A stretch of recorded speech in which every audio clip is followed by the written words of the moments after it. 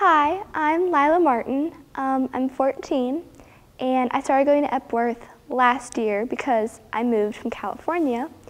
And like right away, basically, I started confirmation here and going to AMPed, which is our youth group.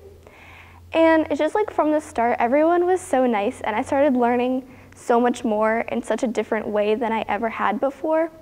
And it was like really, I guess, uplifting and eye opening to see how you can have like a church family and how the, you'll always feel that they're there for you.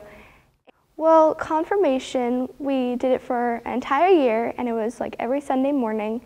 And we had like different lessons we talked about.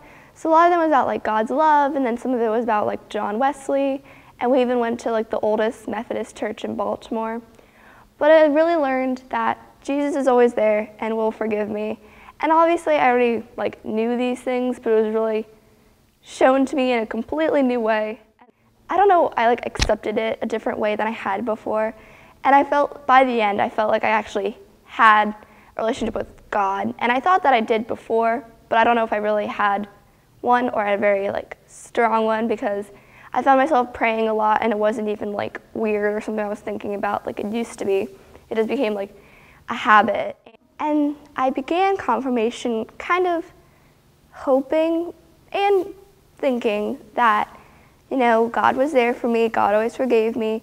But by the end of confirmation, I started actually seeing and truly believing everything that I was learning.